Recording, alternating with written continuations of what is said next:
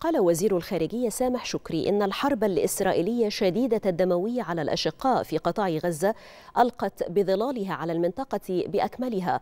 وأشار شكري إلى أن الحلول الأمنية للصراع لم تقدم للمنطقة سوى الدمار لافتا إلى أن ما يجري في غزة هو مخطط ممنهج لتصفية القضية الفلسطينية.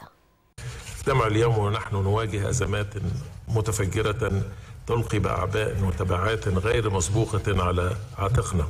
على رأسها الحرب الإسرائيلية شديدة الدموية ضد الأشقاء في الفلسطينيين في قطاع غزة والتي تحمل تبعات سياسية وأمنية وإنسانية شديدة الخطورة. لا تقتصر على القضية الفلسطينية والشعب الفلسطيني الشقيق فقط وإنما تمتد إلى المنطقة ككل وتلقي بظلالها على الأمن والسلم الدوليين.